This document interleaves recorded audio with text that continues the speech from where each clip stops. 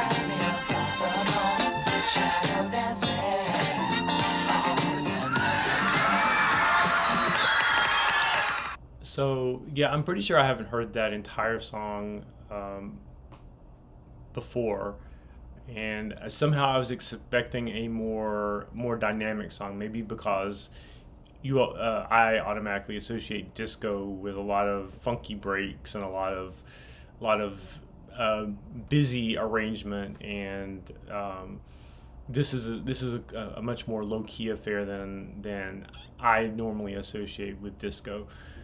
I guess this is almost like disco's version of a mid tempo ballad, but definitely all the trappings of disco are there. The propulsive beat, the uh, the one thing that I did learn, I have learned over the past few months listening to songs from the '70s uh, and early '80s is that one of the defining things of disco in its original incarnation was the orchestral flourishes. Uh, that never really occurred to me before. That and that's not something that's necessary. That's necessarily a part of uh, songs that follow in the footsteps or call themselves disco now. But there is still that kind of that kind of orchestral uh, bombast to the whole disco sound, even if the the actual the instruments aren't there. But the orchestral flourishes were here, the little funky, uh, like the funky backbeat and and the uh, the propulsive beat are all here. So this is to me this definitely qualifies as a disco song, and this was this all happened like this song happened right in the middle of Saturday Night Fever and and uh, and Andy's three brothers who were in the Bee Gees, uh, you know, doing their thing and having international stardom. Uh, and so uh, I was just reading up a little bit on on Andy because I'm not that familiar with him, and uh, and uh, I did know that he was their younger brother, and I suspected that that his brothers worked with him on this song, which my brief research uh, definitely bears that out. And you could certainly hear the background vocals during the little piece in the pre-chorus, uh, where it dips into a clear like a clearly a Bee Gees uh, background vocal bit uh, that that was dropped in there. Um, so it's good to have all that context. But my my reaction to the song is that this is kind of my kind of song. This is the sort of song I usually champion. Uh, so many records are about prodigious talent. They're about um, singers showing how well they can sing by singing out and belting and hitting hitting uh, really high notes or really impressive sounding uh, volume belts all that kind of stuff. I really like it when songs are more turned inward than than outward. When it's about playing around inside of the song like the, I, found, I found the chord changes in the song to be very uh, soothing and very in the pocket. And I found his uh, Andy's vocal intonations and uh, the slight, you know, pitch shifts he did, the little, the, just the little things he was doing with the melody. Uh, which was a, a, subtle melody on its own as as well. Like the, the melody itself was not a big sing songy uh, affair where you like it was like a lot of songs are very hooky and this song i mean the shadow dancing part is definitely a hook but it's a very tasteful and low key kind of hook and all the, and the verses are very much like that as well. It almost has a, a, a jazzy feel to it and it, it's it, to me this song is is more internally facing. It's about it, it, it ha- it's very self-contained and not about you know all this bombast. It's very much about maintaining this straight line of that, that propulsive beat, but and and the dy- the dynamics happen inside of a very limited range, but it makes them that that much more smooth and um, and compelling for being more you know being more subtle. And so this is this is in that way this is definitely my kind of record. Uh, that being said, I didn't find anything really captivating about Andy's voice. I don't know how people processed his stardom at the time. It would be really easy to say, oh, he was young. I think he was about 19 or 20 here. He was young and he was good looking, and there was a there was definitely an image factor involved in why he was so popular. Uh, but from all accounts, he was also you know into music, very much into music, and had been from a young age. This wasn't just something where he just uh, was you know forced into a studio or just happened to wander into a studio and do a random song here or there. He actually was very much about his music, uh, and uh, so but you know while I didn't find his voice very, super captivating, I did like what he did with it in in the context of this song, uh, and it, but it does surprise me a little bit that a song this low key was the number one song of the entire year which makes me wonder was this more was this such a huge hit more so because of his personal um, rise his personal stardom his rising star his being 19 or 20 years old and the younger brother of the other Gibb brothers and being good looking and all that is that what really kind of cinched the the, the popularity of this song? Or was it a, was it really uh, a standalone success um, either way, I enjoyed the song a lot, and uh, you know, I, I, I was about to say I want to put it on my playlist, but I don't know. As much as I like really smooth songs like this, sometimes it takes me a little longer to digest them and get into them. So it may be that the song will like hit me in a few days or in a week, and I'll really, really like it that much more.